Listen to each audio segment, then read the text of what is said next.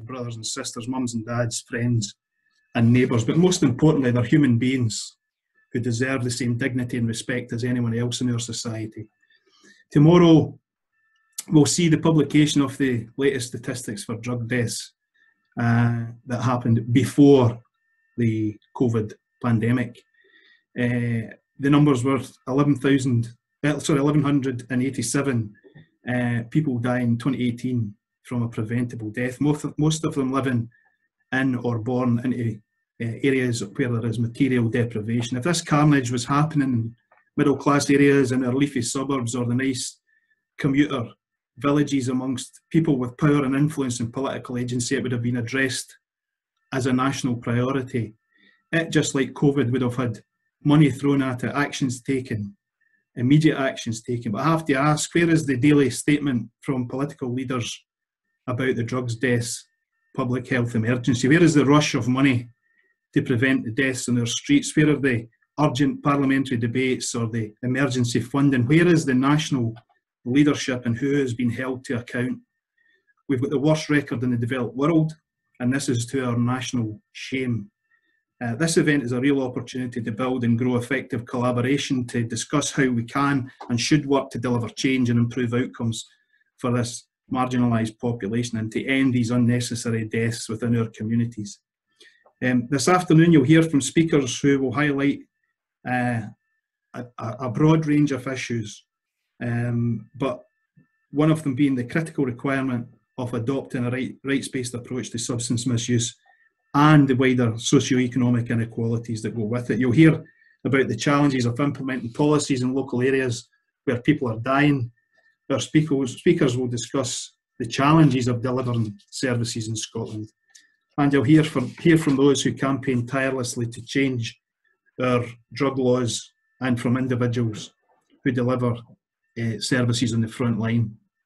Time is limited. We have uh, a number of speakers who will have 10 minutes maximum, and I'll let them know I've got a wee uh, homemade sign to hand put up when they've got a minute to go. Um, so please take heed of that. I don't want to end up cutting people off. That's not the point of the meeting, but try and stick to your 10 minutes. Um, we've left a bit of time for questions later. Now, given that at the moment we've got 260 people participating, if it was a normal meeting, we would have hands in the air and I would ask you for questions. That's going to be really difficult. So at the end, we'll ask people to post in the chat box any questions and, and I'll ask them to try and make this a bit more manageable. If there's any questions that don't need, eh, don't get an answer, don't worry. We'll save these in the chat function and we'll get them answered and we'll respond to you uh, in some way. Because um, it's important that we have that discussion. It's not just, you're just not here to sit and listen to people, you're here to participate. Um, this is only the start, we hope, of uh, a discussion, an inclusive discussion, so that we can take forward a collaborative approach uh, to this issue. Um, and at the end, we, we've got a few asks for you to uh, undertake. So, um, without any further ado, I'll pass over to our first speaker, who is Iain McPhee. Just let me find my list here. Um, Iain McPhee from the University of West of Scotland. Iain has presented several alternative narratives on the unacceptable rise in the number of drug deaths. He's co-authored critical analysis of policy failures in alcohol and drug service provision he has also evaluated a rights-based training approach with alcohol and drug service provision and uh, has provided evidence to the Scottish and UK parliaments. Uh, over to you, Iain. Thanks, Neil. I think the size of this event indicates a clear need for an alternative to the stage managed narrative that emerges from government and from individuals and services dependent on government funding. Now, we need to hear alternative explanations why Scotland has such a high rate of drug related death. Now, we've been informed that our shocking high rates of drug death are due to an ageing cohort or to Thatcherite policies of the 1980s.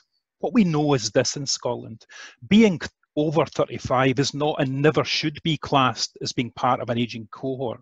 And I believe it's shocking that the Scottish Government are allowed to promote this narrative.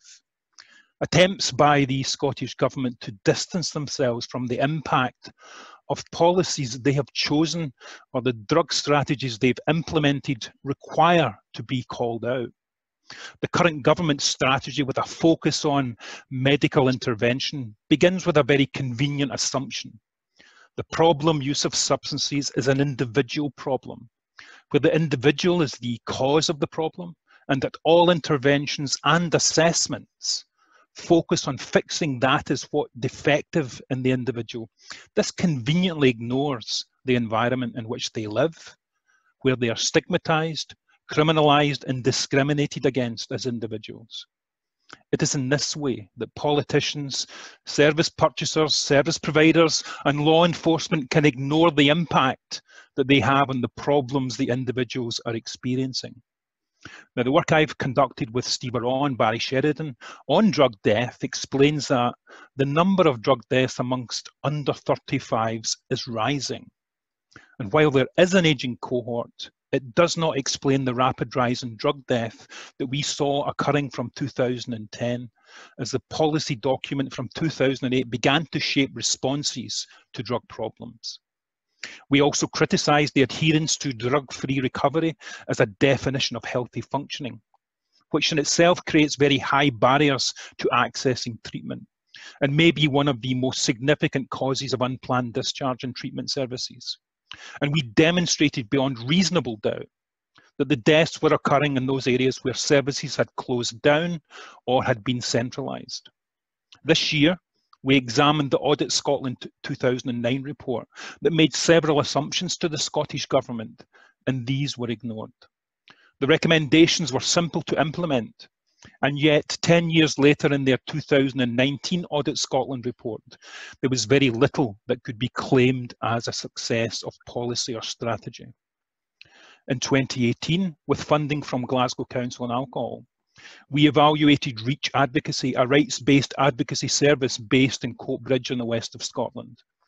We recruited a sample of service users in contact with both drug and alcohol services, mental health services, and the rights-based advocacy service, and explored the participants' experiences of each of these services we found that our most vulnerable individuals were brutalised by the actions of the Department of Work and Pensions, by criminal justice social work, by housing, by employers, and were amongst, these people were amongst the first to be regular users of food banks.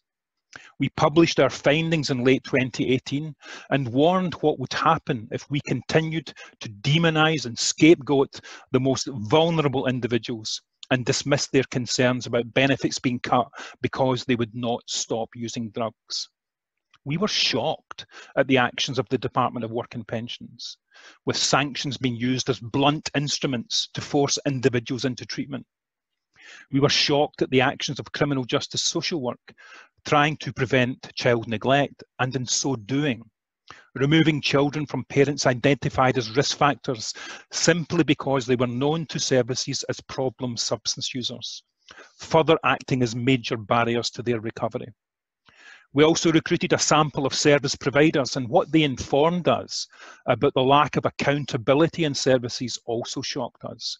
And while we were not critical of the workers or even the managers of these services, we were critical and are critical of government inaction where they redirect funds from where they were needed in the local areas where drug deaths are occurring to where they were assumed to be most efficiently used. We were critical of the integrated joint boards and the National Health Service who made decisions about who was deserving of a service, and we warned about what would happen if we as a society allowed our most vulnerable to be stigmatised and discriminated against and left to die. Our comments were discussed, dismissed back in 2018 as hyperbole and exaggeration. So how has this situation been allowed to happen? In 1948, the United Nations Declaration on Human Rights indicated in their 30 articles that human rights were indisputable and should be enjoyed by all. But in 1961, the United Nations Convention on Narcotic Drugs described drugs and drug users as evil that threatened mankind. This paved the way for the United Kingdom's Misuse of Drugs Act 1971. And after decades of criminalising drug users for simply possessing substances the United Nations had described as evil, paving the way for stigma and discrimination. The new Scottish Government policy document, Rights, Respect and Recovery, does show some promise. And the new MAT standards, hopefully, will allow more than just treatment waiting times to be claimed as a success. So recognising the human rights or recognising service users as rights holders and services and government services as duty bearers is essential all duty bearers, and that includes Scottish Government, everyone who advises on policy, works in services, including academics, have to respect and recognise the rights of rights holders. Not just those individuals who have made the very difficult decision to remain abstinent from their former drugs of choice, but all, including current drug users. We cannot allow governments to reduce stigma for drug users simply by increasingly stigmatising users of alcohol tobacco, and the users of medicines that are not prescribed to them. Rights begin with the understanding that if we allow one group or one individual to be reduced to a number or a service, we dehumanize them. If you do not support the rights of all, then you cannot be said to be working from a basis of human rights. Rights for some are no rights at all. Our recommendations arise from 30 years of experience in this field we cannot expect the same services to do the same things, call it by a different name and expect better results. It is imperative that we work with communities, not just individuals who label themselves as in recovery, but current service users and those individuals who work in non-statutory services and acknowledge the power imbalance that exists between statutory and non-statutory services. Help begins by recognizing their rights, not simply documenting their needs or by giving them approved drugs or advice on how to stop, but by accepting that simply asking the questions dictated by meeting the new standards or by the DAISY assessment tool is not a recognition of their human rights. It is a method of data collection, useful to be sure to government, but useless in understanding local needs where the drug deaths are occurring. Meeting government targets will allow governments to demonstrate and indicate success, to be sure. However, this approach requires the continuance of a system that has served to increase these drug deaths. We ask only one thing of you, those of you who work with drug users who have not been able to stop or cut down or reduce their use. They need your help. They need you to recognise their human rights we ask that you sign our open letter to the First Minister and also add your name to our petition to recognise drug-related deaths, drug-related deaths amongst the poor as a public health emergency and as deserving of the monies that are being used currently to tackle COVID-19. Thank you. Thanks very much, Iain. Thank you for that and getting us uh, underway. Um, our next speaker is Barry Sheridan, who's an independent consultant who's affiliated to the University of West of Scotland. Barry works alongside Iain and has co-authored several papers presenting alternative explanations to the rise in drugs deaths and has presented evidence to the Advisory Council for the Misuse of Drugs. He has developed policy across a range of uh, uh, social policy areas for around 15 years. Okay, Barry?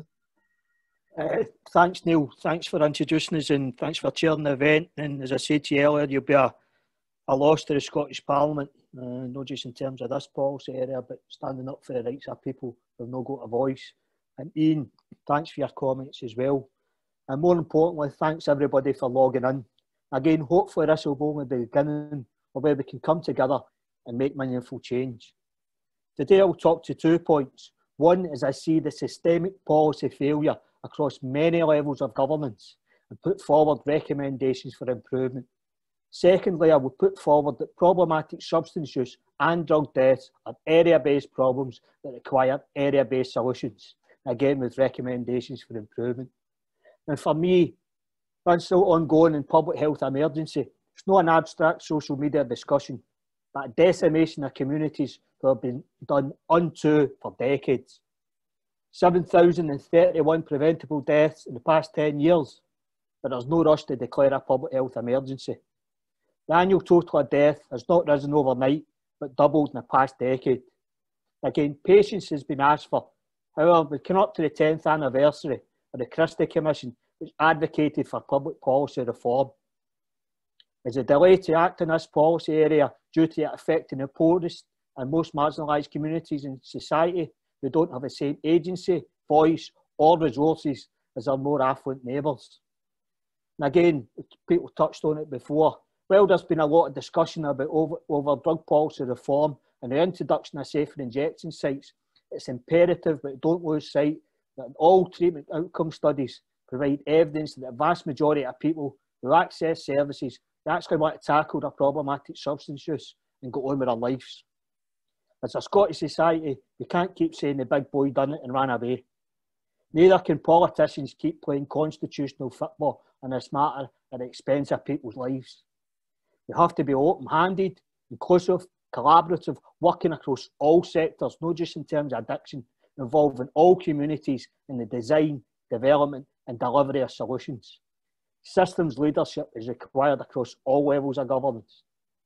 No longer can solutions for this public health emergency or the narrative be managed, controlled, or solely developed by organisations appointed by or funded by government. And again, in terms of funding, over the past decades, the budget specifically allocated by the Scottish Government to alcohol drug partnerships have been cut by more than half from an annual budget of 114 million to 53.8 million. That's between 2007 and 2019.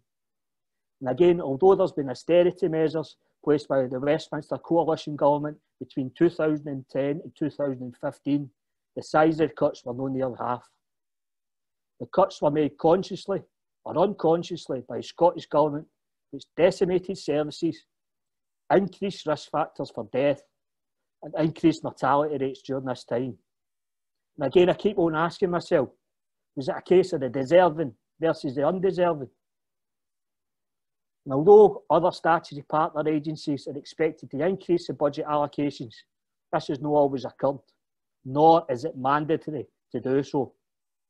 And again, in terms of budget budgets, what is also worth noting that the Scottish Government discretionary budget, that is the monies that's available from to spend, is less than 1% lower than 2010 levels. Therefore, it is essential that funding levels for ADPs and local authorities are increased significantly, in line with 2010 levels and inclusive of real-term equivalents. Again, I hear, I hear the term system change being used pretty frequently these days. However, I can only see mainly pharmacological responses to this ongoing public health crisis or increasing treatment options for people. Both are welcome. However, these responses they don't tackle the main contributing factor for the death, social economic inequalities. Again, the actions taken forward, for me, are no system change. They're actually tinkering around the edges of the system. And also, what I continue to ask, does the system want to change? The Rights Respect Recovery Strategy, the appending action plan, all the actions taken forward by the Drug Death Task Force are welcome, and, the Drug Death Task Force Forward Plan are welcome also, but ignore the lack of accountability or a lack of adequate governance. Again, there's numerous occasions where over the past years, the fundings, funds no directed to deliver national priorities and poor outcomes are no always held to account. Again, Iain's talked about it and I'll talk about, uh, about the power imbalance. Power imbalance is stark. Again, reports suggest in the, the, the, the Dundee Drug Commission that voluntary sector providers are too scared to raise concerns in case they lose funding. Furthermore, statutory providers are not held to the same level of account as the voluntary sector providers, nor can they be decommissioned for poor performance or delivering poor outcomes. In terms of recommendation, I'd say going forward, it would be highly beneficial to have a separation between the purchaser and provider of services with a standalone commissioning body, and if possible, a regulatory body with statutory enforcement powers, as is in the case of other policy areas. And again, this could be simply enacted through a piece of legislation within the Scottish Parliament. In terms of commissioning cycles, I say they have to be longer. Back in back 2017, the Advisory Council for the Misuse of Drugs suggested that it should be at least five to seven years, or even seven to ten years. and it would allow organisations to concentrate and deliver on better outcomes. Again, for me, it's also staggering that even after several reviews of opiate replacement therapy, we still don't know how many people access methadone in Scotland.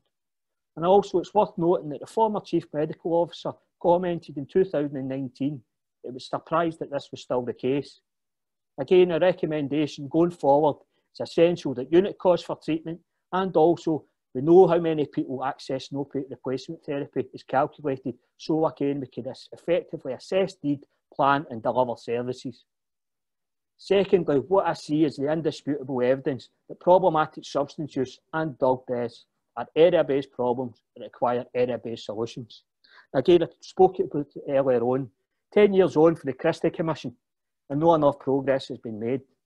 A phrase coined back then was failure demand, basically doing the same things and expecting different results.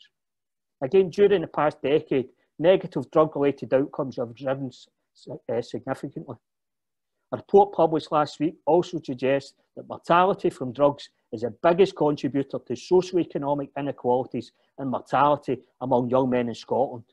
Likewise, a report published highlights the increased death amongst women, therefore challenging the ageing cohort narrative that is churned out and has been churned out uh, the past couple of years. Again, evident, Iain, uh, even Iain uh, mentioned it earlier on, that evidence presented in our papers outlined, outlined that more than half of drug deaths are within deprived communities. And in some areas, the prevalence is as, heart, as bad as heart disease and strokes. Again, the former report concludes that to reduce deaths of despair, actions should be taken to address social determinants of health and reduce socio-economic inequalities. Again, looked at Public Health Scotland, uh, their strategic plan recently, and also the Moreland Evaluation Framework for the National Drugs and Alcohol Strategy.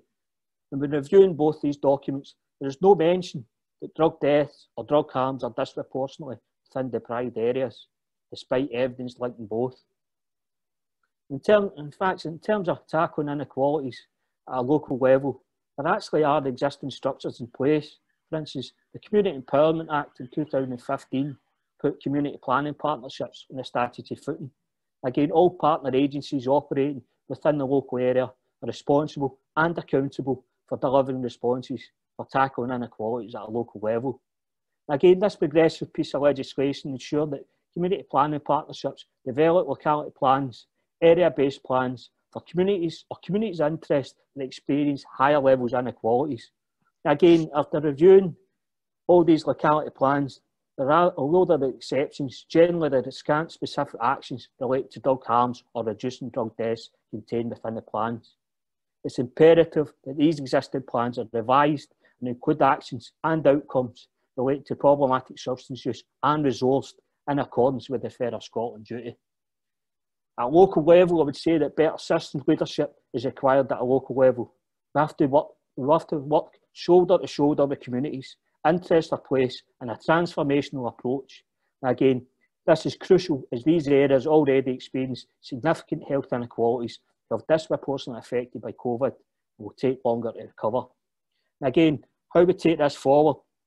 Scottish Government has rolled out an approach where local government asks communities to decide on 1% of their revenue budget. Again, this is welcome. However, Scottish Government should work with local government and increase this amount significantly. And also, I would say it should suggest to go further and have all public sector organisations to adopt this. And again, this would enable communities who experience inequalities with adequate resources to design, develop and deliver area-based solutions for area-based problems. Again, as Iain touched on earlier on, the rights-based approach put forward by the Scottish Government is welcome Again, it's critical that this approach is fully embedded across all levels of governance and communities are trained in this approach. Again, it's imperative as a modern and progressive society that advocates the importance of human rights. These rights are for all citizens, no, no the only ones that society deems deserving.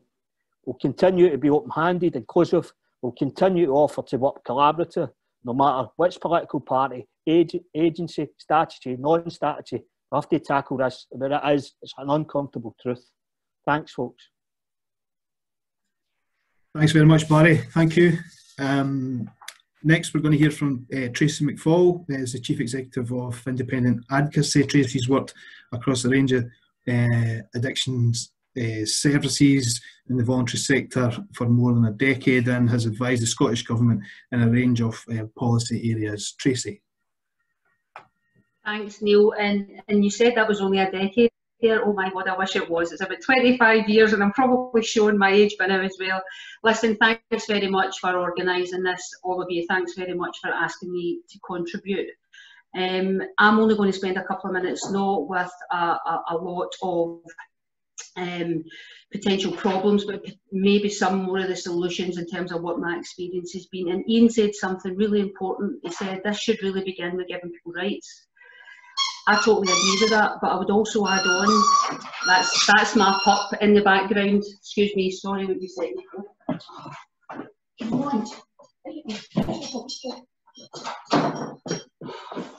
Sorry, folks, working from home is never easy.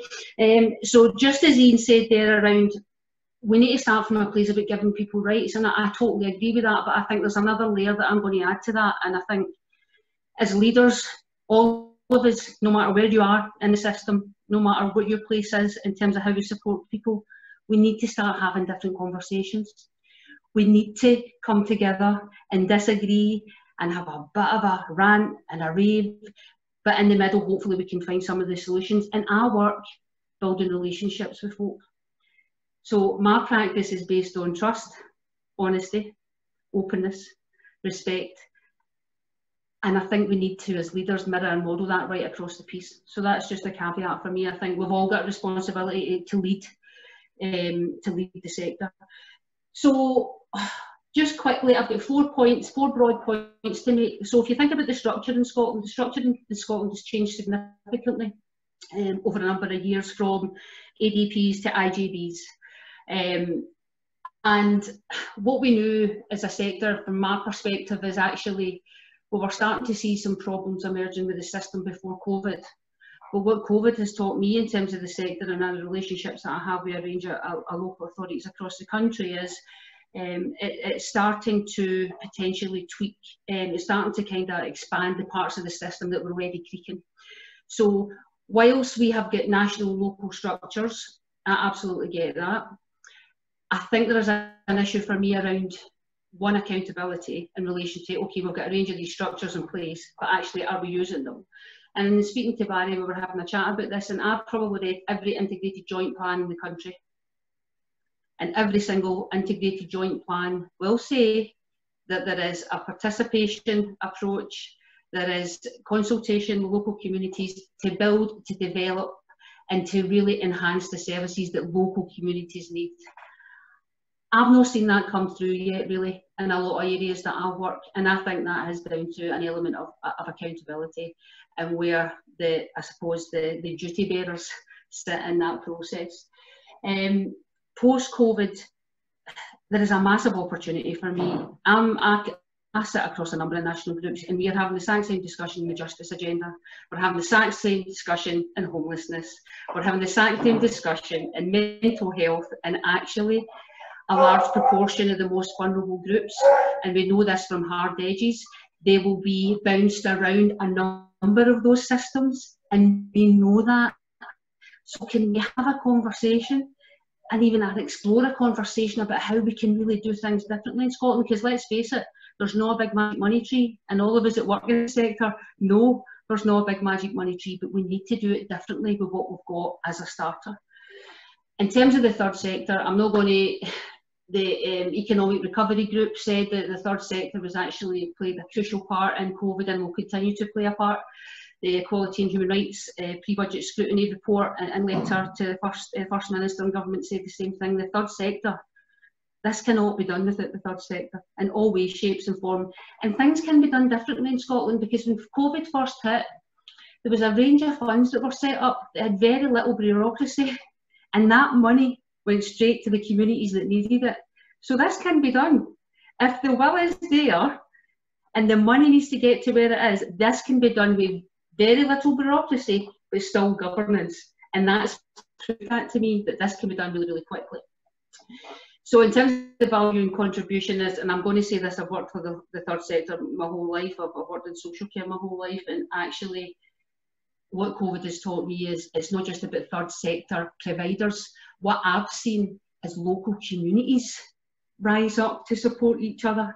And that's something that has always happened, but we've never really seen that before. So I think communities are at a real place where they want to see things change and they want to have a voice.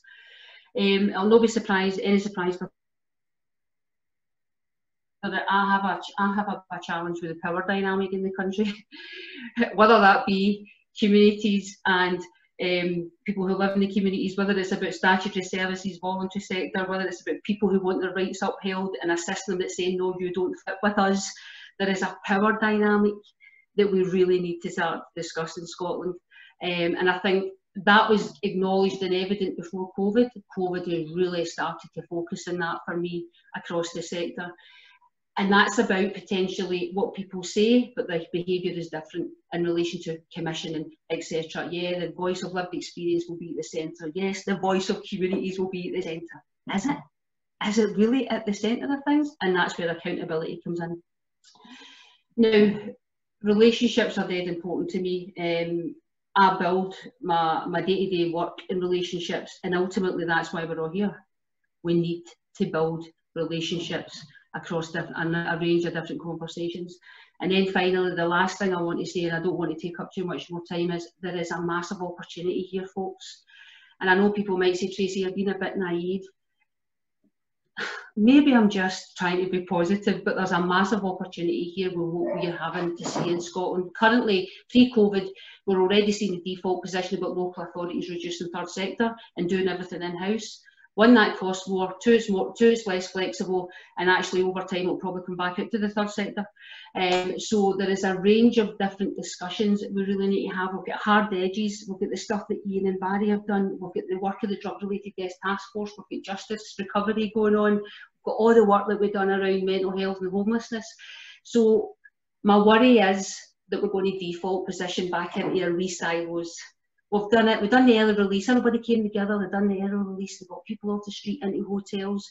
The next stage for me is can we keep that learning and no default back into our silos where we're feeling very comfortable and we don't because it, it can work.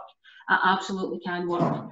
And I suppose lastly for me is um, and I suppose this is a plea to to Scottish Government is we know the complexities that we're working with and uh, across communities we know there's an opportunity to do things differently. We know there's a um, huge amount of money being spent in addictions over the last number of years, but actually we're having a conversation about how, that, how this money can come together.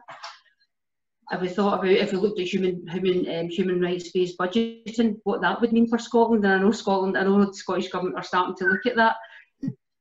Um, so I would just ask all of you just to start having those open conversations and I suppose I can only take responsibility for myself as a leader in Scotland but I would urge all of us to just open up take the challenge listen and open up that dialogue that's all I'm going to say Neil thanks folks Thanks very much, Tracey. That's excellent, and welcome your dog to the meeting.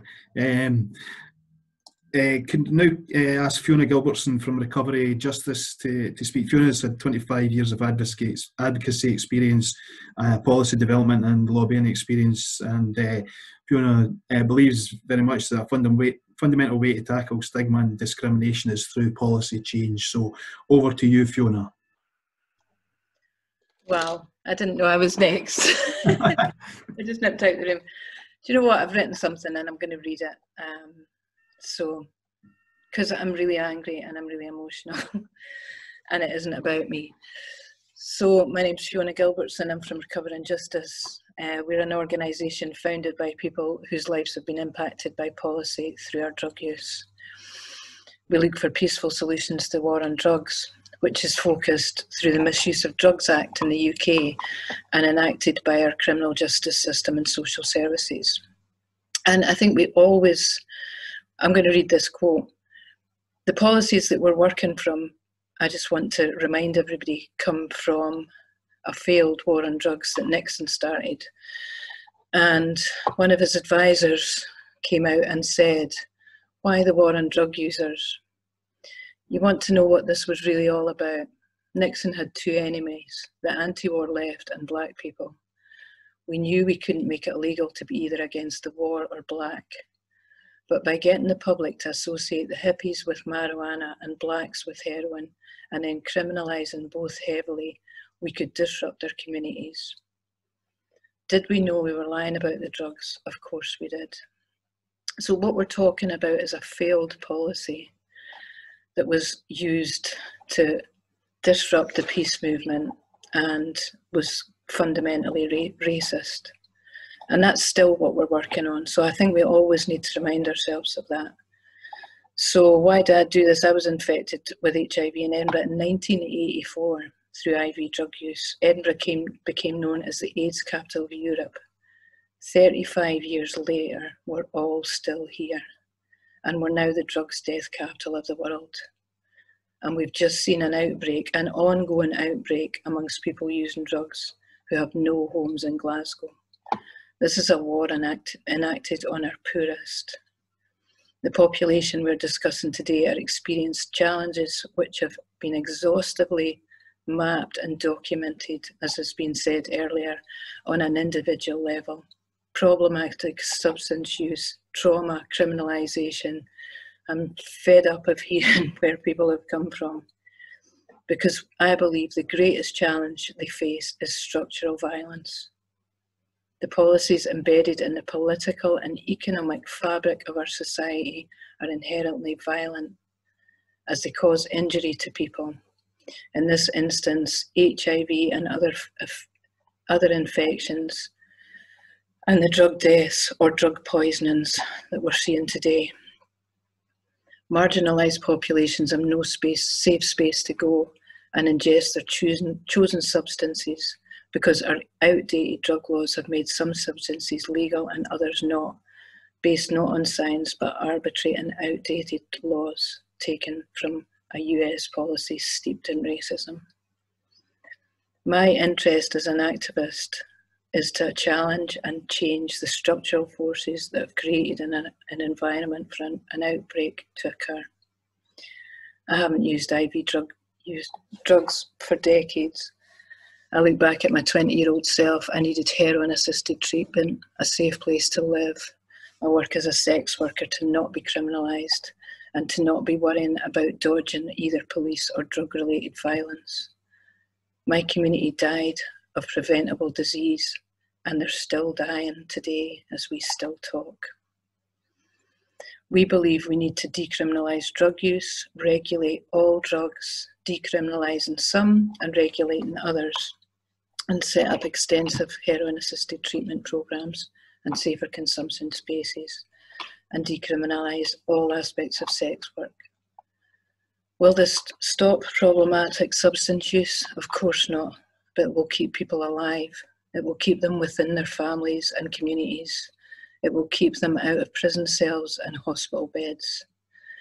Taking the structural foot off the neck of people who use drugs will allow them to breathe and will give them space to get into whatever recovery looks like for them. Scotland has the opportunity to be visionary. We're a small country and we've heard a lot of solutions today. And I also keep hearing this like there's no magic money tree. It's not true. If we took the money from organised crime and the criminal justice system, you know, I don't even know, but some of you guys here know, the money that's been spent on people who use drugs is phenomenal. If we devolved, and I'm going to talk about some of the more aspirational ones, if we devolved powers from Westminster, we could create a fair trade cannabis market and ring fence the money to be spent on education and treatment. They did it in Uruguay, they did it in Canada. Not perfectly. A lot of the states have got it wrong, but we have smart enough people in Scotland to work out what that would look like for us. A regulated fair trade cannabis market would deprive organised crime of money and power while raising tax revenue for treatment and prevention we could adopt our own decriminalisation policy informed by Portugal, not replicating it, but informed. They were facing similar problems to Portugal. They were facing similar problems to Scotland, not as bad. I mean, we're now, as we know, the drugs death capital of the world. But they chose to decriminalise drug possession, people who use drugs, and treat it as a health and human rights issue. So, drug policy reform for Scotland is not about drugs. I think we need to stop talking about drugs.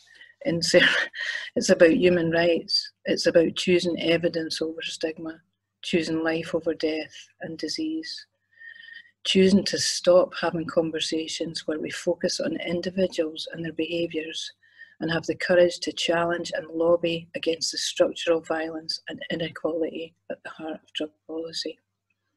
I really hope I'm not here next year. I really hope that I can put my whole organisation out of business in the next three or four years. I don't know what to say. Thank you. Thanks, Fiona. That was absolutely tremendous. Thank you. Thank you very much. That was superb. And uh, I'm so pleased that you contributed today because um, I, I, think, certainly for me, um, I could have sat and listened to you for much longer than that. And I think what you're speaking is very much uh, truth uh, uh, in relation to what is actually going on in communities and um, the, the, difference, the rhetoric that we hear over the reality of some of what you've just said there is very powerful and it certainly reflects my experience uh, working in my community. So thanks very much for that.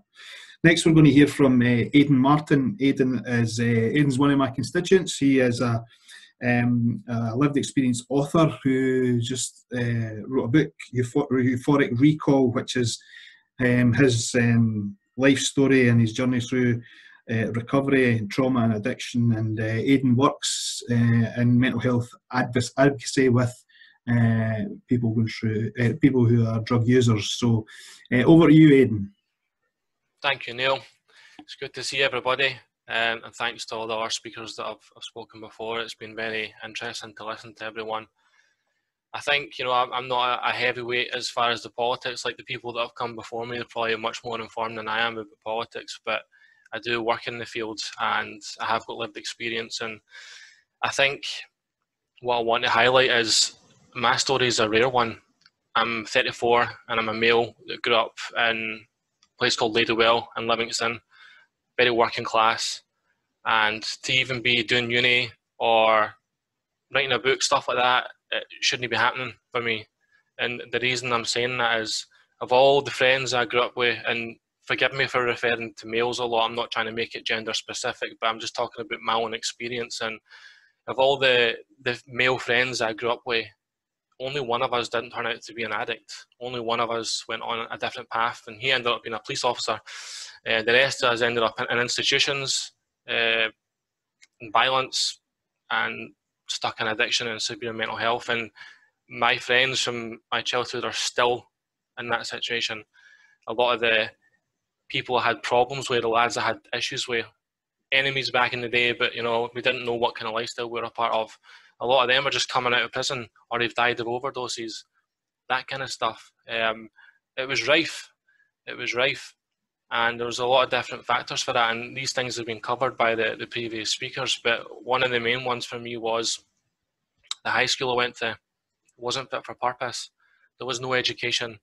We were all sent out the door at 15 16 and told to just get on with it and most of us had no idea who we were. There was no identity there was no aspirations there was no hope.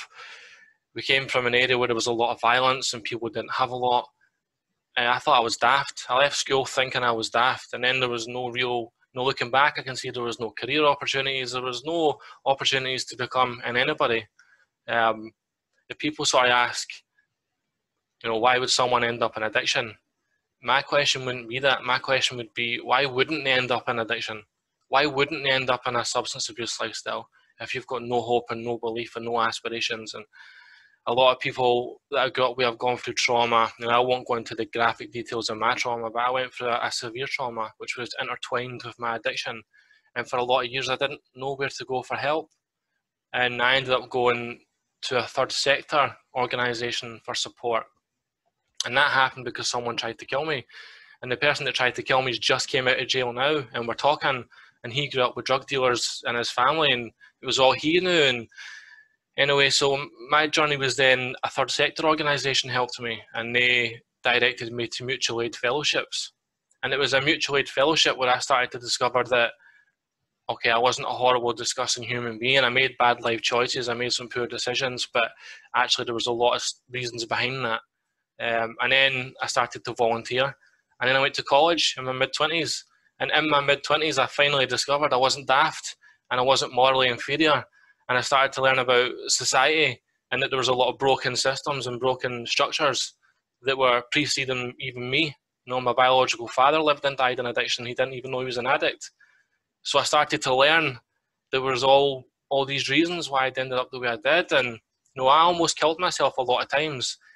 That would have went down as a suicide statistic, but it would have been a drugs death one. It would have been because of drug use and addiction. But it wouldn't have been in those statistics. It would have been suicide. Now, now, fast forward all these years later, I've gone and got a degree and I've done good things in my life because at, at West Lothian College, I was told that I could have a future. You know, I was made to believe that I could become someone. And, and I think all these lads I grew up with, talented human beings, good human beings, good people, and most of them are still stuck. And a lot of them are suicidal. And it's like they didn't get a fair chance. And things aren't getting better, they're getting worse. And you know, I, I believe we've got issues with the Misuse of Drugs Act and, and all that stuff in Westminster. So that's I don't even need to debate that. I think everyone here probably understands that. But I'm extremely frustrated with my own government as well because I feel like they're silent. I feel like nothing's getting said, not enough's getting said. I feel like we've got a crisis going on, and as someone that both works in the field and has lived and survived through it, I'm, I'm like, what's happening? What's actually going to be done? I'm not naming names of politicians or anything like that, but I have tried privately and publicly to get people to notice what's going on, both again as a worker and through lived experience. And it's only since I had the book come out a couple of months ago that I'm actually being taken seriously now. Whereas before my voice didn't matter. It's only that I'm an author, I'm, I've got a book that the voice matters now, whereas before nobody was hearing me. Nobody was hearing what I was saying. I'm an advocacy worker through here in West Lothian too and you know my job is to advocate on behalf of people that identify as having a substance abuse problem.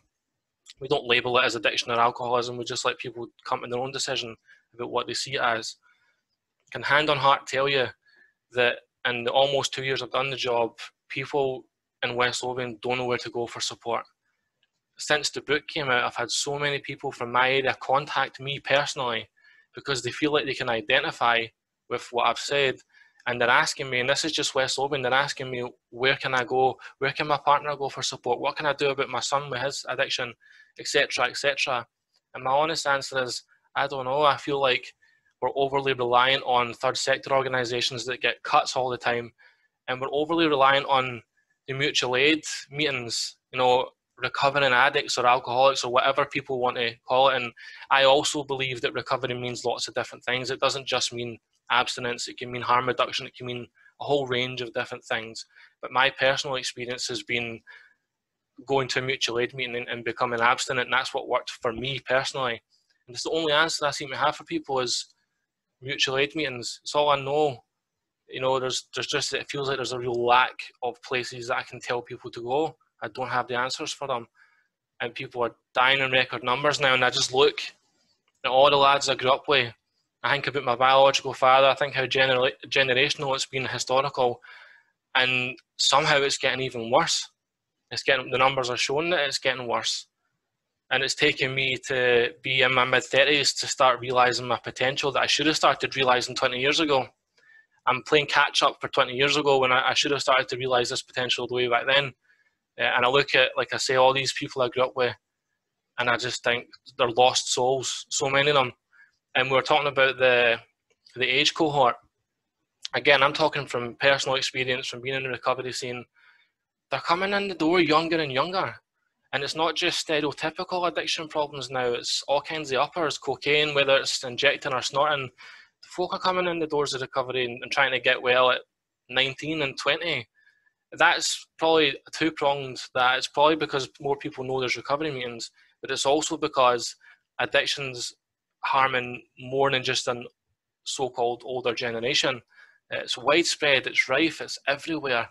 Um, and you know it, it's it's intertwined with mental health and suicide, and there'll be so many people that kill themselves out of sheer desperation, and that will not be included in these figures because it'll go down as a suicide. And my death would have been a suicide, and I was saved because of recovery fellowship. And yes, I feel so frustrated in society right now, uh, and it's what inspired me to to write a book and put my own stuff out. And there's, there's so many facets to it, trauma, you know, lack of getting. You know, I'm only just getting a house next year as well, so I'm just getting on the housing market in my mid thirties, getting a chance at a career. Should never have happened from where I came from. And the jobs I've done since I've graduated, I've worked for some fantastic third sector organisations, but they always feel understaffed and overwhelmed and really long waiting lists for services. And then a frustration for me is I've gone from small contract to small contract, small as in a short period of time, and always feel like I can't do anything that's long lasting. And that's why I've gone back to do a social work master's degree. Uh, I'm not even sure if I'm going to go down that path or not. And in all honesty, Wade, this is I'll kind of finish on saying this. I feel like I've made more difference in the last six weeks since I released my book than I've managed to do in years of working in different organisations, and that's not because I've not tried. I've tried my hardest, and I've worked for some fantastic organisations who have got the, the greatest will in the world to make a massive difference. But we're getting overwhelmed because the problem is massive, and something needs to be done. So I'm, I'm privileged to be asked to come along. I hope my little bit has been worthwhile. Thank you. Thanks very much, Aidan. That was excellent. Thank you very much for that. Appreciate that. Um, we've posted in the chat box the Aidan's book's called Euphoric Recall. I would thoroughly recommend it. It's uh, it's, it's very um, uh, stark and, and very um, a very personal account of Aidan's experience, but very much worth reading and sharing with people. Um, somebody was asking also if we will, uh, where we'll be posting this afterwards. I think it'll probably be posted via my Facebook page and Iain and Barry's Facebook pages, but I'll need to speak to Barry see if he's got one and Iain if they've got one. So we'll we'll, we'll let you know before the end where we'll post this because it's we want to get it out to the widest possible audience for people who couldn't uh, make it. Um, okay, next up we have uh, Peter Krykant. Uh, Peter is a lived experience citizen who's challenging the premise of the Misuse of Drugs Act as we speak uh, with his um, uh, safe injection facility within the city centre of Glasgow. Uh, over the last six months, Peter's done some sterling work, fantastic work, and um, uh, people will have seen in the media that he has attracted the attention of the criminal justice system because uh, his crime has been to try and prevent people dying, which is an absolutely outrageous situation that we're in. Um, but people, Peter will uh, tell us about that himself. Uh, so over to you, Peter. Thanks very much, Neil, and thanks for uh, and the panelists and everybody that's Paul and Barry and Iain, you know, all about the, the sort of, you know, the, the statistics and the data and the analysis and all the academic stuff. But then listening to Fiona and, and Aidan really put me at ease there because, you know, the title of this is they're, they're only junkies, who cares if they die, you know, and let's get it right. All I am is a two bob bit junkie for fuck up you know that's all I am. And uh, you know I've took it upon myself to, to go out and try and do something that's been getting talked and talked about in Scotland for years now. Um, so yeah I uh, got involved in doing this type of stuff. I, you know, my story's similar to Aidan. You know, like I went to school. Everybody that I grew up with got involved in drugs. You know, by the age of eleven, I was a, I was a daily drug user. By the age of seventeen, I was injecting heroin, and by the age of twenty, I was living rough on the streets of Birmingham, injecting heroin and crack cocaine on a daily basis. You know, thankfully, I, I found a, a, way out, and my life changed. And uh, you know, I got married, had kids, and then got a job in sales. And then a few years ago, after being a stay-at-home dad for a year, I thought I can use my own experience to go out and help others. So I got a job working in a, in a recovery community, and uh, you know that opened opened my eyes up to the lack of support and the lack of help for people. You know, people would often come to the recovery cafes or the events, and if they were if they were out there not, if they were mad with it, they'd be turned away You know, they'd be told that you're mad with it, you're you're not. You need to come back when you're a wee bit, wee bit less out, you're not, sort of thing, um, because it would be putting the people who were stable or or in abstinence-based recovery at risk if they were to be there. And uh, you know, that really opened my eyes. You know, I uh, I feel I feel emotional and upset and sad that I would turn anybody away who was in a desperate situation, needing help. Um, but that was my job. So that's what I was paid to do. Um, but after a very short time, my last job was an HIV out, street outreach worker testing homeless people who are injecting drugs in Glasgow City Centre, rapid testing for HIV. And I would, and I'd done that for a few months, and I would walk away from them knowing that they were going to be back at risk that same day. They'd be back in the alleyways that I was injecting drugs in 20 odd years ago. You know, what's the point in providing an HIV test to somebody who you know that's going to be back in a rat-infested alleyway the next that night, injecting drugs again at risk of bloodborne viruses?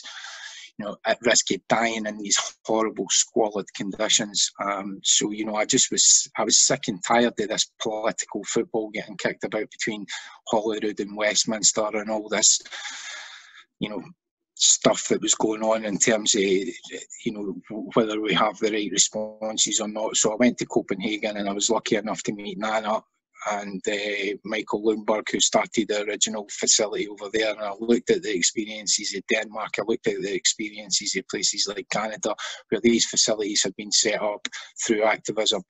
And uh, I just decided to go ahead and do it. I attended the Drug Death, Drug Death Summit on the 27th of February, and Ed and I will mention, mention the politicians at that Drug Death Summit and throughout the mantra from Joe Fitzpatrick has been if only we had drug consumption facilities, if only the Misuse of Drugs Act was devolved, complete and utter farce. What's happening here in Scotland is, is within our control. We have the same legislation to work from as the UK government have, but, but yet we have a three times, more than three times higher drug death rate than Scotland.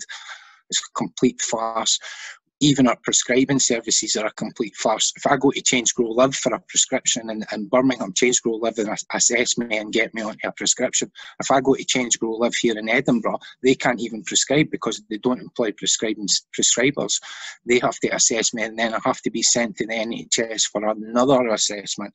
If I'm a, if I'm running about the streets trying to get enough money together for a bag of heroin and a bag of cocaine to inject in my groin, there is no way I'm going to be making multiple multiple assessments just to get onto a prescription. I'm like, I'm not bothered about that. I'm bothered about my next hit. That's the simple reality of it.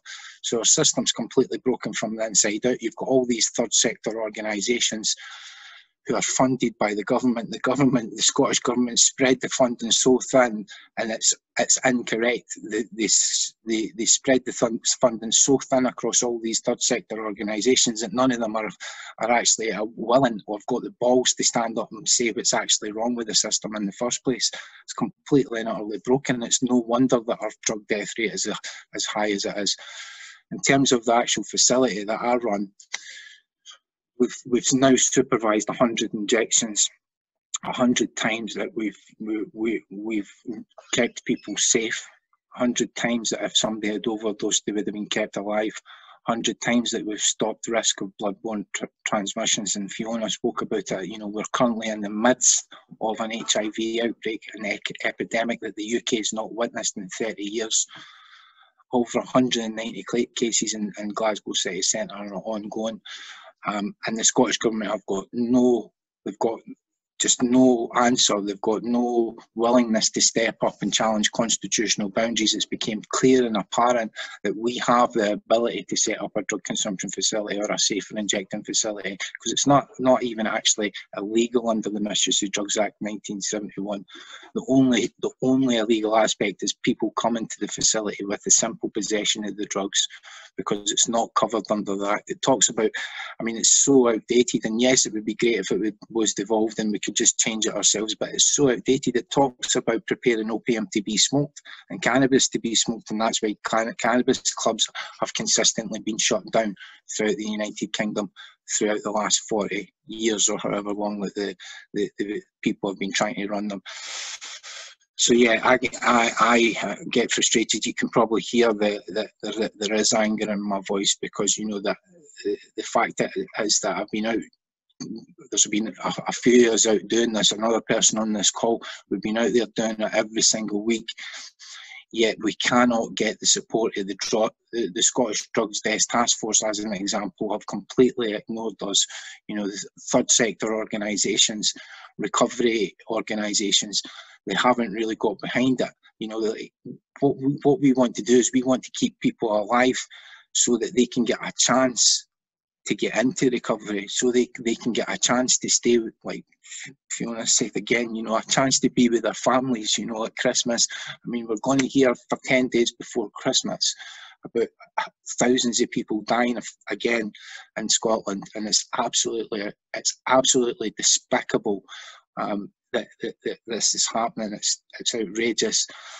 Um, I don't know how long I've been talking for, but anyway, as you can probably tell, um, I'm a little bit pissed and I'm a little bit angry about about about the whole situation, to be honest. Because in, in, in, the three small years that I've been involved in this stuff, I mean, I am not an academic, and I'm not a lawyer, and I'm not like anything at all like that. I got kicked out of school when I was 14. Um, but like from a, a, layman's terms, from somebody that, that's a complete layman, I can see that the, there's clear cut solutions that we can introduce, like low threshold prescribing. People should not. I was working with a guy through lockdown. I'll finish up on this. I was working with a guy through lockdown who, who stays in my local town. He, he lives in Falkirk and he was outside Tesco's begging every day for spare change. Now, I went to the third, the third sector organisation with this guy and says, can this guy get assessed to get on a prescription? They were like, no, he's no high risk enough because he's no injecting. He's not injecting heroin, he's only smoking heroin. The guy couldn't even get an assessment until I went and spoke to Chris Clements and got him on BBC The Nine. As soon as he's on BBC TV, he gets assessed and he's on a prescription within a week. You know, it's like, but before that, they were like, no, no, we can't get him assessed because he's no he's no at, at, high enough risk. A previous injector got a mixture of street benzodiazepine use, um, uh, smoking heroin on a daily basis. I mean, we've got that's the, that's one of the frustrating things about running the overdose prevention centre in, in Glasgow. We don't have anywhere to send anybody. What do you do? Where do you send somebody? When they're when they're on 120 mils of methadone and they're injecting cocaine in their groin 10 times a day, like what, what, what do you do? Go and tap on the door of the drug crisis centre. We're working with a 20 year old. She comes to see us every week. She's got the, the, the deepest self harm scars that I've ever witnessed up and down both arms. She's sleeping in a tent outside the Glasgow Sheriff Court and she's injecting heroin in her groin every day. It's fucking outrageous. Anyway, sorry. That's me. Done. Peter, thanks very much for that. Um, again, uh, what we're hearing from Peter is the reality over the rhetoric, and I think it's it's absolutely critical that we hear from people like that. I think Peter, um, I, am only speaking personally. You know, you're one of my heroes at the moment because you, the only thing that you're doing is trying to save lives. The only thing you're trying to do is save lives, and yet you are being subjected to the criminal justice system when there is no need for that to happen in Scotland, none whatsoever. And uh, uh, from um, dealing with constituents who come to us uh, or, or, have come to us over the years with um, mental health uh, problems, which we are seeing far more people come to us and people who are more acutely unwell coming to us, many of them involved with addiction of some kind. We can't find them anywhere to go either. We're trying to kick the door down to the health service or the agencies there is nowhere, particularly for people who are involved with cocaine, that appears to be an area where there's just a complete absence of any support whatsoever, unless, as Aidan said, it's some of the mutual help organisations. Um, our last speaker is uh, Darren McGarvey, uh, who is a um, an award-winning author. Um, many of you, I hope, will have read Darren's book, Poverty Safari. He's a journalist and musician and TV presenter and um, regular columnists in newspapers, and has recently um, been on BBC Scotland presenting uh, his uh, Darren McGarvey Scotland. Um, so over to you, Darren. Thanks, Neil. Hello, everyone. Thank you very much to all the contributors so far. uh, much to think about, and also commend anyone else who's given up their time to come and hear uh, and possibly be challenged by some of the things uh, that have been said. Uh, for anyone who follows me, you will not be surprised to learn that I believe at the very core of this is a simple matter of, of social class. Um, as a public figure in Scotland, it's a very lonely and isolating uh, place that I occupy, uh, where consistently, despite the fact I'm fed up talking about class, I have to consistently raise it in interviews, newspapers, uh, basically channeling my thoughts and feelings on social class through every station that is on and find increasingly that I'm one of the only people in the pub, regularly in the public eye who still invokes that language of class conflict, uh, which partly because of the gentrification of language in the age of social mobility and poverty of aspiration and meritocracy, uh, it, it, it, means that we, we don't have the language often to describe some of the ulterior dynamics at play here.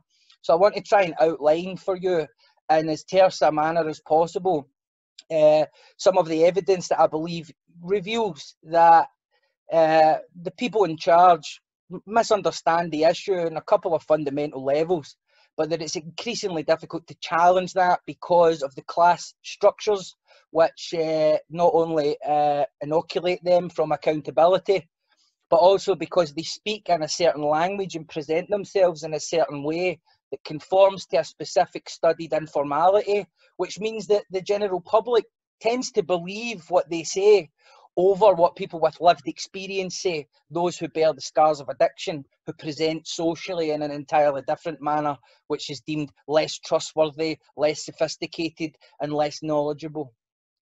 So Scotland has a proud pioneering history. We brought the world antibiotics, telecommunications, paradigm shifting enlightenment, uh, but we also lead the way in delusional hubris uh, and finger pointing. In Scotland, our successes are our own, but our, our failures, and they are many, are usually somebody else's fault. And by far the greatest blemish on our storied history in recent times is the collective abandonment of the most vulnerable, persecuted, and excluded group in our society drug addicts. Data published uh, last year revealed, obviously, that in Scotland drug deaths rose by 27% to 1,187.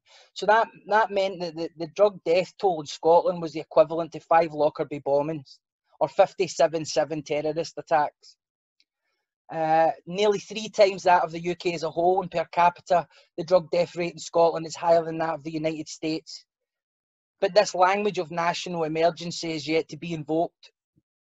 Conversely, in 1996, an E. coli outbreak, which affected 200 people and caused 21 deaths, led to a public inquiry, which produced a damning report placing blame on a Wishaw butcher and council health officials. But in 2019, when tens of thousands were hooked on drugs and over a thousand died, uh, there wasn't that same hunger for accountability. So we have to ask ourselves, why is there such a premium on some lives and some emergencies and such a lack uh, of premium on others. In Scotland, the drug problem is out of control, to be quite frank.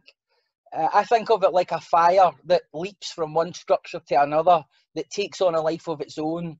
It's now self sustaining, it's independent of the conditions that have caused it. Uh, and the cause seems to baffle many. Obviously, there are various theories out there. It could be attributable to so many different things. Uh, one of the main ones I would contend uh, the sharp managed decline of the industries around which many working class communities formerly cohered. Uh, the mechanisms by which they once lifted themselves out of poverty were sacrificed on the altar of the free market and replaced with Frankie and Benny's and American style shopping malls and chippies and bookies and casinos and in Dundee, the drug death capital, a world leading design museum partly funded by the billionaires implicated in the US opioid crisis. Drug related deaths, like untreated disease and violence, beget drug related deaths. It's much like a flower that drops seeds before it wilts. Those who perish in such sordid, undignified, and often terrifying ways don't serve as warnings to others. Instead, they become martyrs of sorts. They're mourned, not just by their families, but by those with whom they sought and used the drugs that killed them. And this is something that must be understood. When you're dealing with people who manage difficult emotions with drugs, when their community is facing death on an industrial scale, that is going to drive up the amounts that people use, how often they seek out the drugs, which creates more demand in the supply chain, and then this problem just begins to feed itself. Opiates like heroin, methadone, and morphine are, are commonly implicated, but by far the most consequential development in recent years has been the rise of counterfeit versions of prescription benzodiazepines, uh, the street Valium, as well as, as cheap and deadly imitations of popular American anti-anxiety drug Xanax. So a compounding factor is the panic that grips these communities of drug users who can't go a day or two without hearing another story about someone who has died. Uh, now, while I commend certain journalists uh, for the way that this is covered, the general spread in mainstream media, with a few notable exceptions, uh, is, is pretty dire. So, drug users are invariably portrayed as vulgar, selfish, feckless individuals whose problems are self generated. The notion that they may actually care about each other and indeed take care of one another has thus far eluded public conscience. But drug takers survive by moving in tight knit communities, bonded by the acute and constant social exclusion they endure. Every time one addict is found dead, the others grieve. They sense too that they might be next. They feel that society has all but abandoned them, socially excluded, bastardised by the public, and misunderstood by many who wish to help them. What is there to live for? And so they do what we all do when terrible things happen. They reach for whatever numbs the pain, and so the fire spreads, tearing through entire families and communities, leaving death and despair and dysfunction in its wake. Research published by Scottish universities in 2018 found that 18% of the Scottish population was prescribed at least one opioid painkiller in 2012, and that, quote, there were four times more prescriptions for strong opioids dispensed to people in the most deprived areas than to those in the most affluent areas. Every bit of data available points to a large increase in the prescription of addictive painkillers like cocodamol, tramadol over the last 10 years in the very communities where people are dying.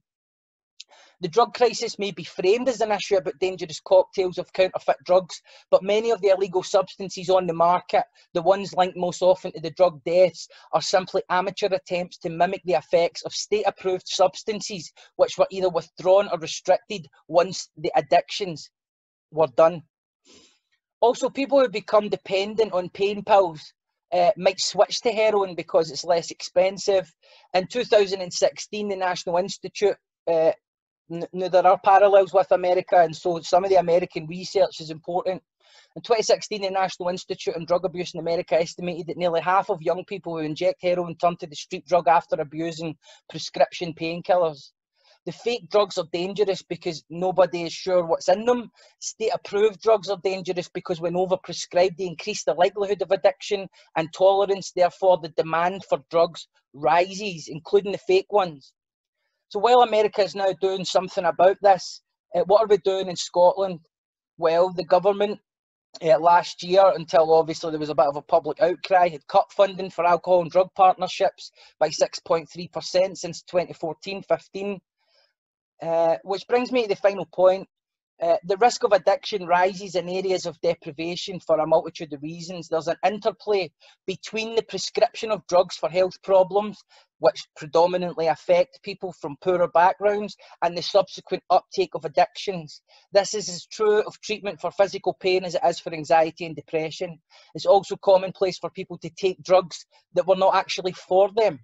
Now, this is another thing because you, you're going to, you know, the, these are issues, subtle issues that don't often get addressed. We've got communities that are awash with drugs and addictions that have come as a direct consequence of uh, people who don't understand addiction uh, prescribing them and these drugs being diffused through chemists and health boards. Analysis by the BBC suggests around 2.3 million people in England took a prescription painkiller that was not prescribed to them in 2016 17. Uh, so we, we can be sure that we're not quite got a grip on exactly the various ways that people might become addicted. the drug problems uh, for me actually started when my gran gave me a painkiller to help me sleep when I was a teenager. Within weeks, I was dipping into the medicine cabinet. In poorer communities, ill health is more commonplace, increasing both the likelihood of treatment and the risk that a patient or someone in the household taking the drugs might become dependent. Society is awash with psychoactive substances in an age of chronic emotional and psychological stress. Increasing numbers are turning to drugs designed to treat chronic physical pain and mental health problems, to self medicate emotional pain, stress, and the anxiety of poverty and social alienation. Put simply, without serious action on social inequality, drug related death and despair are inevitable. If we want to make a serious impact on this matter, we must be prepared to analyse the environments in which addictive behaviours are likely to emerge. For some, the social conditions are so miserable, the addiction so severe, and the range of options available so few that injecting a dirty needle into a groin despite already having had a leg amputated begins to seem like a reasonable solution. When that is your threshold for pain, popping a few tablets is eh, merely a formality the the issue for me when it comes to the class dynamics here is that the area that we grow up in really kind of shapes many things about us things that we understand like our educational attainment how long we'll live how educated we'll be how much we'll earn. But there's a kind of ulterior dimension to this as well. So there are significant areas of divergence culturally and politically and these create different sensibilities around language emotional attitude, sense of priority, accent, physical appearance. The problem we have in Scotland is that the people who understand how to get sober are the people who do not fit neatly into the world of civic Scotland studied informality.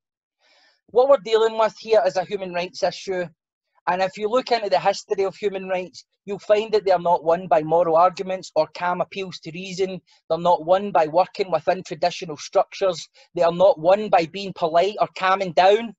They are won when the people in charge understand, and they understand very deeply that it will cost them more not to take action than to concede that they are wrong. And so we have to become prepared and willing to escalate this to another level because it's very, very clear to me that trying to work within the structures and trying to mimic and adopt the studied informalities that you require in order to uh, negotiate entry into the communities where decisions are made is not working out very well. You're getting wheeled out at conferences to talk about your drug experiences and then you're getting papped in the background again. When you get angry, they dismiss you. When you say there's no help available, they pull you up for your language on Twitter. So this is no longer acceptable to me. This is no longer acceptable to me. Um, I commend everybody, as I said before, for uh, their passion, their insight, the various different bits of research that are, are have been made available. Uh, and it's, but as important as all of that is, there has to be a willingness on behalf of all of us to make sacrifices, whether that be our standing in certain communities, our sense of professional prestige, which is contingent on not speaking the truth, uh, we have to become willing to do what people in the trade union movement do. We have to become willing to do what people in the LGBT movement do. The people in uh, the people in BAME communities have done. What women have done. Because if we're talking about human rights, then we're not going to get it by negotiating around a table in a nice, calm, friendly manner, unfortunately. Uh, I'll just leave it there and thank you very much. Thanks very much, Darren. That was excellent. Thank you very much. And uh, I think it's very interesting that you mentioned the fact that you're one of the few commentators who's willing to raise class issues. I find myself in the same boat in the Scottish Parliament. The minute you mention social class, the heads go down and people start looking at their phones, and it, um, you know you, you, can just sense the atmosphere that they think that it's a here's a dinosaur out again. When actually class the, the class division is is the division in our society, the division in my community and the, the division that's causing uh, the deaths that we're seeing. Um, and, and, and again, I, I think it's uh, very important what you say about taking lessons from other movements that have made fundamental change. You know, none of the uh, rights, workers' rights that trade unions have won over centuries have been won because people on high hand them down. They've been they've been won because people have demanded them from below and they've forced government to act. Uh, and I think that's what that's what's required here. At the last time I spoke on the drugs issue in Parliament, um, I said the last thing we need is consensus. It's consensus that's got us to where we are at the moment. Consensus and ambivalence that's got us to where we are at the moment. And what we need is some well-directed anger for change. And uh, I absolutely stand with that. So thanks for all the um, contributions. Now we have got people um, who've been posting some um, questions and I'll, I'll, just so that we can make this workable rather than calling people I'll, I'll, I'll read the questions out and say who they're from. Um, it is going to be a wee bit tricky for us to identify who is going to answer. I don't require all the speakers to answer all of the questions but if there's one that you've got a particular knowledge of or interest in answering then please um, indicate and I'll try and bring whoever it is and I hope that's okay. If we run out of time don't worry we will be saving the questions so we'll try and get back to you in some way by uh, through some of the, the, the, panel members. Just I think that's the only way we can really manage it with the numbers that we've got on. So um, I'll first one uh, is a question from Erin uh, Macaulay who says I'm interested to know what has been done around street drugs and the rapid rise of young people taking this and dying from them. I know if I was uh, under 18 I could get a drug cheaper and easier than asking an adult to go into a shop, uh, presumably for alcohol. Um, what do people see as being uh, done in terms of uh, young people and their access to drugs? And that kind of links to a, a, a, point raised by Joyce McPhee about children taking drugs under 16s uh, and their access to drugs. Would anybody want, anybody want to answer that? Fiona?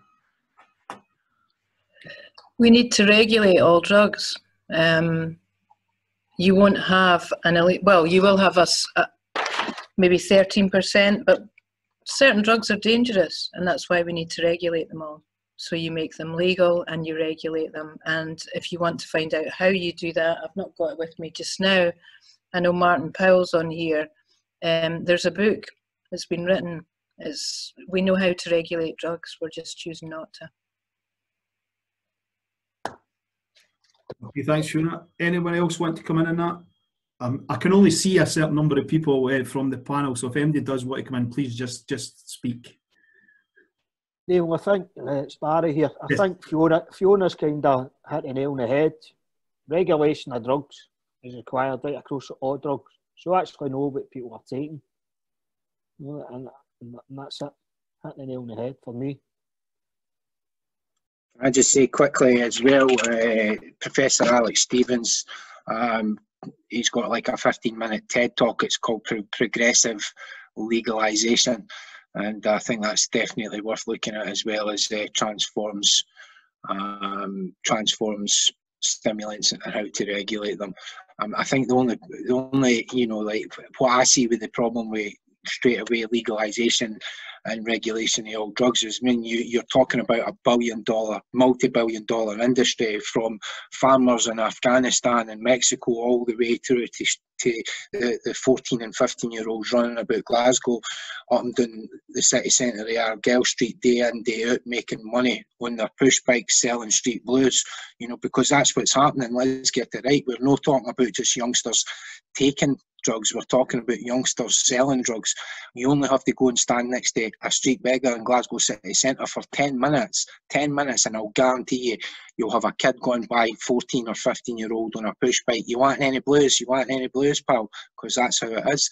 We've got a multi-billion dollar industry so Transform's drugs on how you how to re- regulate stimulants actually talks about all of that in terms of how how to deal with it because do you have these capitalist organisations coming in and taking over the whole market?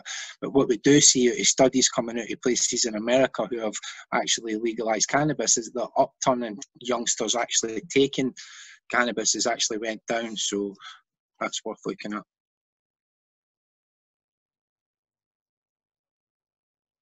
Thanks, Peter. Thanks for that. Um, we've got a point from um, just a wee second. Ewan uh, Ewan Gurr, who says, uh, My question for the panel is Do they consider a harm reduction approach as the best solution to address uh, addiction or simply as one part of a bigger jigsaw? Anybody want to come in on that? Neil, it's Tracey. It's really about choice. This is, this is about choice. Can you read the question again, Neil? Um, Ewan's asking is uh, is a harm reduction approach the best solution to address uh, the problems of addiction, or just some simply as one part of a much bigger jigsaw? Uh, my own view, I'll, i can just take this quickly. my own view is that the harm reduction approach has not evolved much since its inception, which was to deal with uh, the criminality associated with heroin use in the 90s. So the harm reduction model did deal with a number of issues, uh, including obviously when you get someone on methadone, then they don't have to score every other hour, and you know uh, there's there's a certain stability in their life. But obviously we know that there are far too many people who have subsequently been parked on methadone. So unfortunately, because of a lack of investment, and also I would I, I believe a kind of not necessarily vested interests in the sense that it's usually uh, the sense that it's usually uh, meant. But there's a sort of intellectual status quo currently, which uh, doesn't really consider the abstinence-based approach as as as as worthy of of uh, really looking at. The ultimate aim should be, in my view, as a as an advocate of abstinence-based recovery, to get someone to a place where they don't require any mind or mood altering substances to function. So unfortunately, what we have now is uh, we, we've we've set the bar so low that within that status quo, uh, someone who's been on methadone for ten or twenty years, that kind of flashes up as like a success. When actually, uh, in, the grand scheme of things, until you are actually completely free of of, of, of addiction and in full possession of your faculties, then you can't address the fundamental problems with you uh, and your trauma and all of the other reasons that people become addicted because there's a part of you which is still enslaved. Um, now, I know that some people find it difficult to hear advocates of abstinence-based recovery talk passionately from, from a place of experience about the power of abstinence. Um, but unfortunately, I think that when we aren't when we aren't setting the ultimate goal to be abstinence, then we settle for less. And less means death. Less means generational addiction. Less means the, the needless reproduction of the traumas and dysfunctions that create the likelihood for more addiction and dysfunction to arise. Um, so I think harm reduction is a part of the puzzle. Absolutely.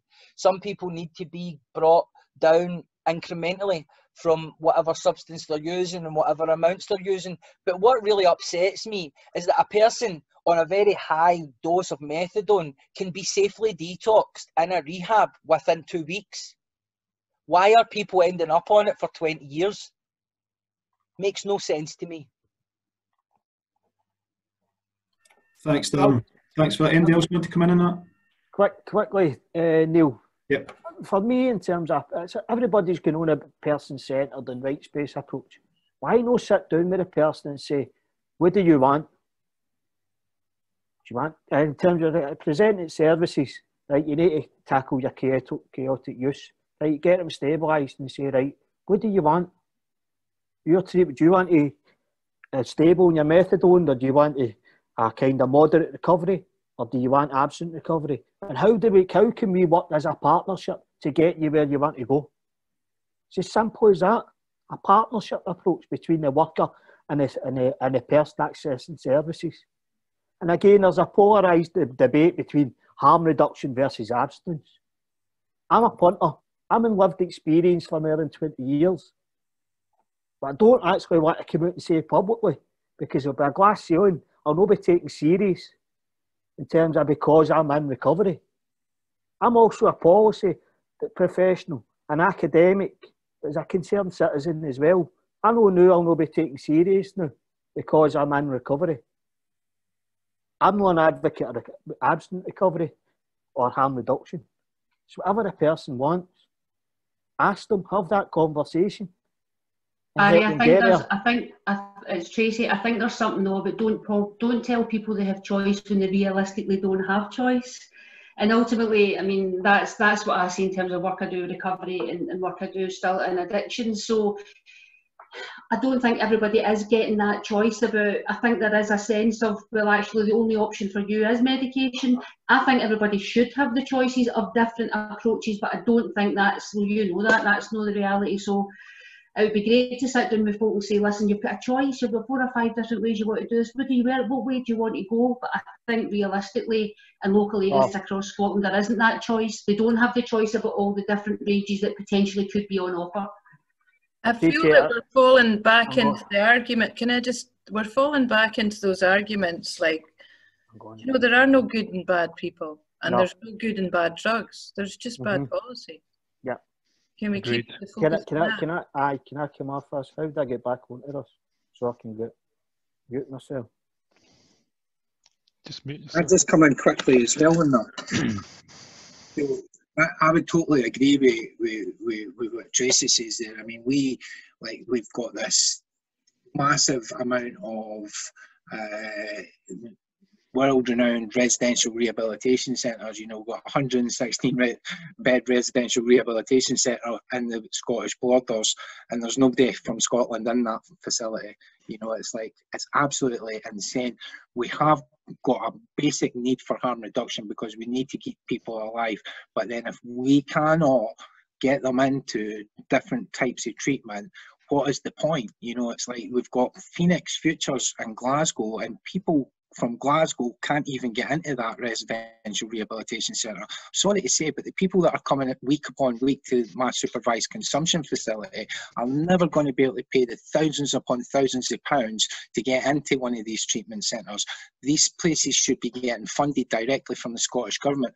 It's no surprise that 10 years ago there was 200 people a year getting sent to Castle Craig and in 2019 they sent five people from the whole of NHS funding to that facility.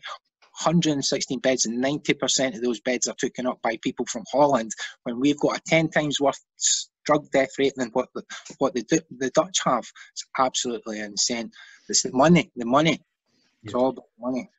Uh, it's shocking. If I can just come in and give my tuppence worth, Neil. Um, for, for me, I don't think dividing us into tribes and camps uh, while it's it's useful um, for, for, debating purposes, I'm neither an academic nor a person with lived experience. I can be both. Uh, and for me, the question was about well, what should we be doing? Should it be abstinence-based recovery, or harm reduction, uh, or, or ask the person what it is they need?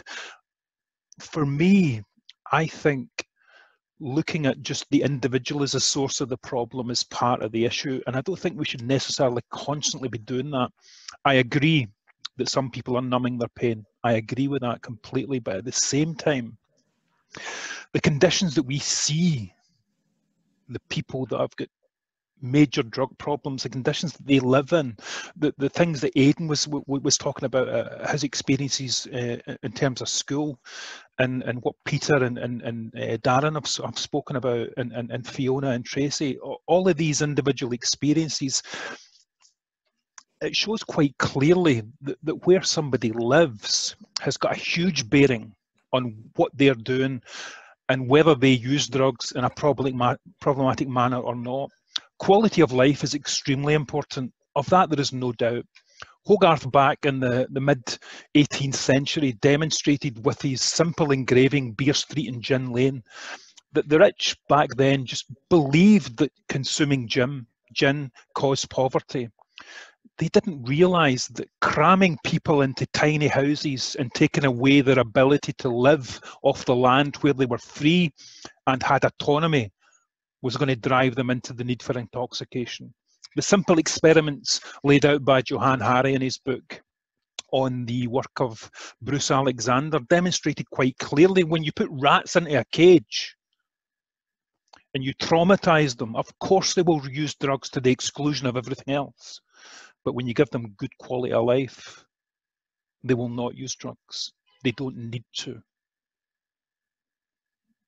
Thanks, Iain. I, I think um, one of the things maybe just to add to that, you know, I recently spoke to a group of um, uh, people going through uh, addiction, and uh, one of the things that they were speaking about was um, they can have as many conversations as they want with their GP about uh, methadone and whether that's increasing or reducing, but they cannot get a conversation about how to get off all drugs. That's and that's the conversation they wanted, and they said that was because their GP regarded um, being illicit, drug free, and crime free as being success, um, and they didn't regard that as being success.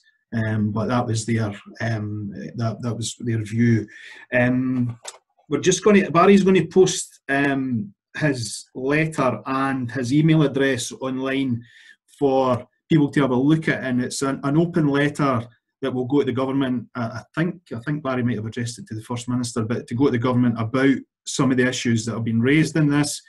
Um, he will also post his email address. So um, what we're really looking for is people. We don't really need the now in the last 15 weeks a big debate about around the letter. It's really for people to see. You can go to, back to your organisations or your families or your community and discuss it. If you want to sign up, then make contact. Let Barry know that if it's yourself in an individual capacity, if it's part of a group, then that you're willing to sign. And I think we're going to put a closing date of a week on it um, to try and sort of um, get a bit of discipline into folks so it doesn't drift on for ages.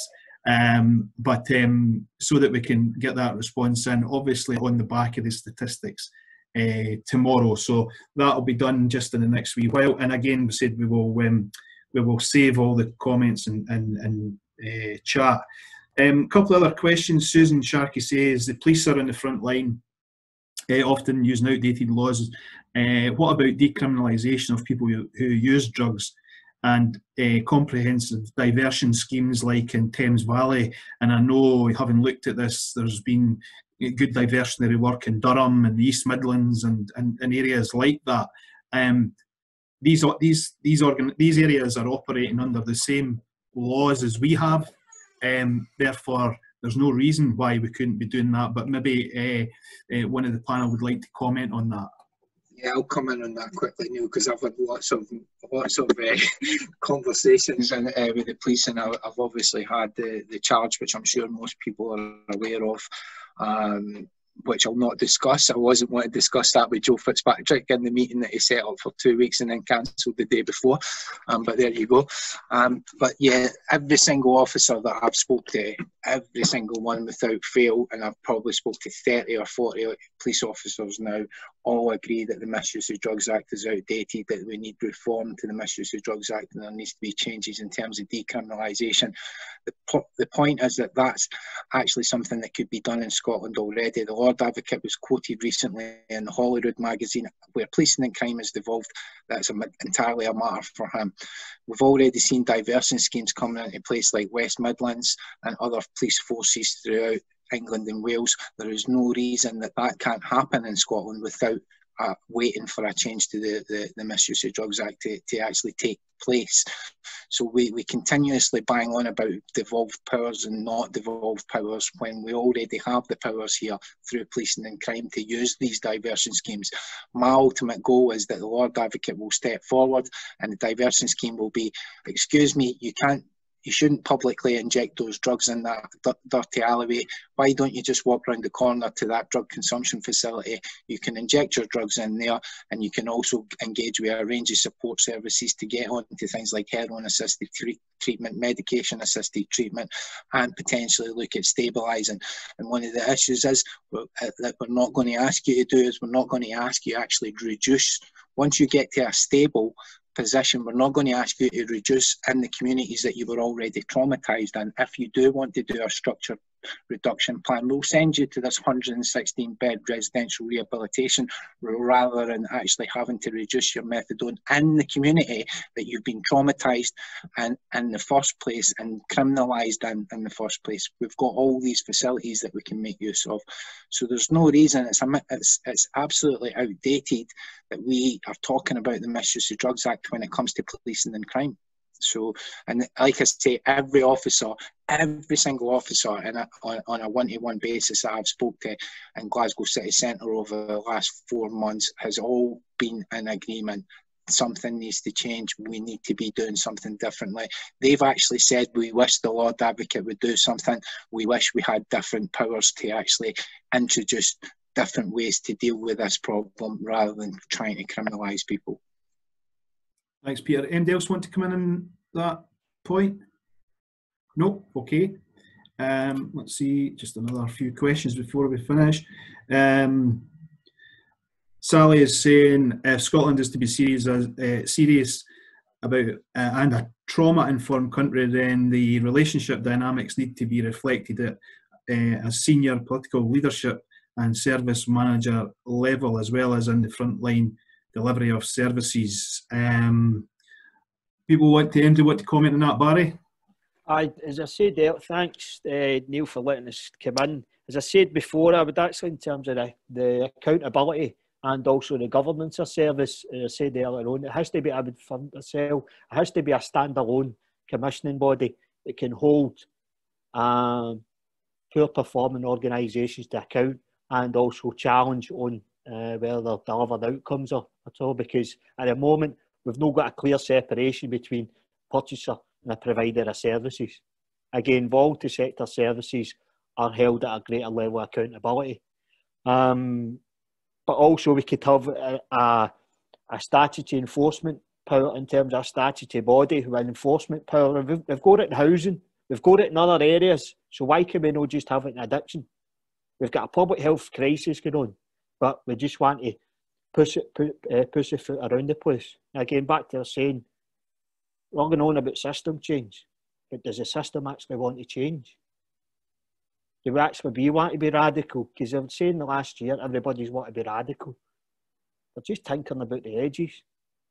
That's all. We want to be person centred, rights based. Well, why not look at this? We've, we've got an opportunity here. If we've got political will, we've got we could have, we could have leadership, not just in terms of Scottish Government, down to local, local level. But there has to be a political will for this. And this this could be an echo chamber. And we're all talking, we all agree on things or disagree on a couple of things, but we've not got the power. No, so we have to hang up, maybe look at it in terms of funding, accountability and commissioning. We've got we've got far worse outcomes in relation to England and Wales. Why is that? No, so again, uh, thanks for Again, I'll go actually go on the mute now. So thanks, Neil. Um, thanks. Um, Chris, Chris Johnson has asked um, what we're going to do about fixing drugs services. Is it just more resources or is it attitudes that needs to change also? and Anybody want to come in on that for the panel?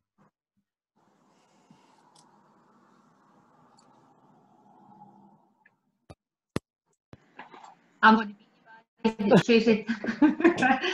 I think it's hearts and minds, Neil. I think there's a combination of different things. We need the political leadership, but we also need distributed leadership right across the piece at every level. But communities need to be part of this process as well, so we need it at absolutely every level. And I think there is a general consensus now. There's a there's a swell I think that we should really be taking advantage of in the next in the next wee while. I come in? I think in terms of for decades now, it's top-down policy. It doesn't work. I'm a, I'm, it has to be bottom-up approach in terms of policy making, in terms of funding, accountability, and have communities have the ability. Again, back to what I was saying, come up with area-based solutions to the area-based problems. I've worked in communities, I've worked shoulder to shoulder, and one of the most rewarding roles I've ever done is work shoulder to shoulder with community organisations who could go out and deliver solutions themselves. And for myself, all through my career, you see policy, we know what's best. Like everybody goes on about co-production, but that's just that's that's just terminology. It's no true co-production because there's co-delivery, transformational co-production. Communities have to be having a say and delivering it. So the money actually stays within the communities. So they can actually, I know they can actually take it forward themselves. That for me, that's radical. And also looking at the systems. Again, that, that that's my worth. and thanks for letting me come in. Folks, we're in the last couple of minutes. Um, I suppose this is one of the key points. Um, uh, you know, where we go for here is um, uh, Darren said, you know, um, talking about escalating this issue and taking it to a different level so that we're making demands similar as we've seen from you know trade unions and Black Lives Matter and the LGBT movement and others over the years. Um, so what we're going to do, I suppose, is the question. And I don't know if Darren has a few suggestions first of all, but um, you know, I certainly I've got some ideas, but if it's coming for me, then it will be deemed as being, uh, you know, political opportunism and all that kind of stuff. Whereas I couldn't give a damn about the party politics of this. People in my street are dying, and that's what I want to address. So um, I, am happy to work with MD. I couldn't care what party you're in or what party you support on this issue. Um, but I think we need a broad-based, uh, bottom-up campaign that's going to force political change like we have seen over the centuries with other um, causes and other organisations. But Darren, do you want to come in on that? He's left. Oh, he's, he's left. Well, uh, uh, does anybody else want to come in on that issue? I think it's slightly off point, but 90%, we have to remember 90% of people who use drugs, all drugs except for alcohol and tobacco, which are really, really addictive, 90% of people do not use problematically. Where are they in this debate? They're missing. And I think until we stand up and say it's a complex issue and we keep looking at the people who are problematic and building policy on that. And what I'm here to say is, yeah, I did use problematic, problematically. Drugs were catastrophic. Drugs were damaging to me. The policies were catastrophic and 30 years la- later i am still impacted by them. They killed my communities. And i'm not and i'm not defending drug use but it was not drugs that killed my friends. It was bad policy. It was drug over and that's what's killing our communities now. That's why they're getting killed at such high rates. You do not see this in switzerland. You do not see this in countries that treat people treat drug use as a human rights issue it is nobody's business what we put in our bodies. And it becomes, it, it's important that we look after the problematic drug users, but until we have a community that's willing to just stand up and say it's complex, it's really, really complex. And it's, I don't know, I can't I can't quite get to who's missing in this conversation, but we do need to always frame it as human rights. And there's been so much talk today about the community of problematic drug users. Um, that is, as long as we see that huge personality, we're avoiding the issue. The issue is not people, the issue is policy. I agree wholeheartedly. Can I just say as well, like one of the key things for me is that we need to we need to look at our prescribing services in Scotland. Um, I just I, I, just can't get my head around that we have this whole extra tier for people to get to get to a, a, a prescription. Somebody that's in the point where they are most likely to die, and the, for me, that the, the, the I'm an abstinence-based recovery. I'm a big advocate of abstinence-based recovery. You know, it's absolutely wonderful. I've got two children and a beautiful wife and um, two beautiful dogs and all that stuff in my life because of my abstinence-based recovery, because I, I stay in that, and because I'm one of that part of that 10% when I use drugs, I do it to extremes. But I think in terms of just getting people onto a prescription where they can stabilise and then we can refer them into other services, the, having to go through that extra level and that extra tier is an absolute farce. Why is why is all prescribing in Scotland controlled by the NHS? Mm-hmm. If somebody goes to the GP, their GP who they've got a relationship with for years potentially, the GP won't even prescribe. We've all probably seen the signs in the GP's practice practice in Glasgow. We do not prescribe X, Y, and Z. You know, we've all seen those signs, and GPs won't in general just won't prescribe. They'll send you to the third sector. So you go to your GP asking for help, you go to the third sector organisation asking for more help, and then you have to go to the NHS and ask for even more help. Why? Why is it like that? We need to build it, rebuild the system from the bottom up, and it can be built with a very little amount of money spent on it. And there's been a lot of talk about money and mismanagement of money and money being redirected. 20 million pounds given to the Drug Death Task Force, which is filtered down to so many research projects. When we've got the research, we've got research. I think Anne Marie's on this call, and I've heard her say it before. We've got research absolutely coming out our ears, not just in Scotland, but from around the world that we can use to implement the changes that we need in Scotland right now. I agree with you, Peter. We've got all the evidence we need. We didn't need the Drug Death Task Force to fund more research. We've got everything we need already here. We just need to hold those services that helped add to the risk factors for drug related deaths to be held accountable.